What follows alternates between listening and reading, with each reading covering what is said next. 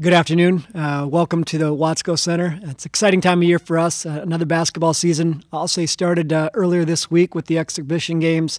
Obviously, the guys and, and, the women have been working hard. I'll say it, really turns into all year long. Uh, but uh, I've been practicing with our coaches now for uh, I'm going to guess about a month, and obviously we'll get things started next Friday real excited about where our basketball programs are at. When you look at what Katie and Jim have both done in their uh, tenure here, at the University of Miami.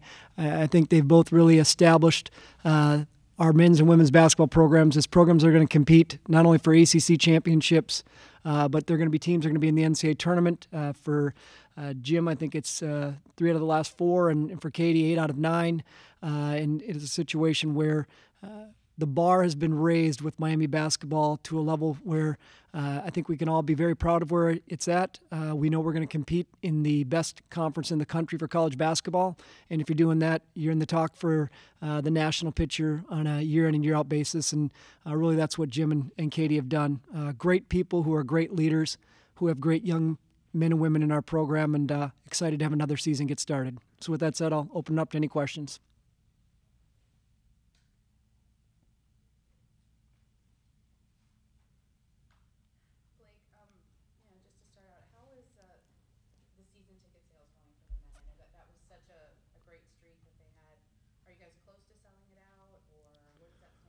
We are. There's still tickets left, uh, which I think would be typical for this time of year. But uh, I'm confident we're going to sell out. Uh, again, there's just been a, a great response from the, uh, I'll say, the South Florida basketball community uh, with our men to have uh, them selling out the last few years has, has been a great benefit, I think, to that program, and, and it, it's the the atmosphere and the excitement inside uh, the Watsco Center is is special, and uh, we'll get there to a sell. There are still tickets available for so for those that, those out there that don't have them, uh, encourage them to uh, get in touch with our ticket office and get their uh, tickets for the upcoming season as soon as possible. But uh, we'll continue to sell, but I'm confident we'll get to the point of selling out again.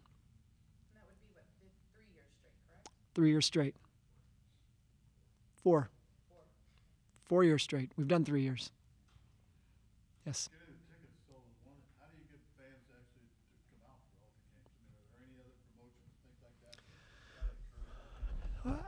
I think it, it's a couple of things. And we all see it in, in South Florida. Winning helps. Uh, any any one of the teams, whether it's uh, us here at the university or any of the professional teams, I, I think having a team that wins and competes uh, and is viewed as, as a contender for championships uh, helps. Uh, there's a lot of things that go on inside the game. We continue to make enhancements to the the Watsco Center from a fan experience. When the fans come, you want them to have a great experience.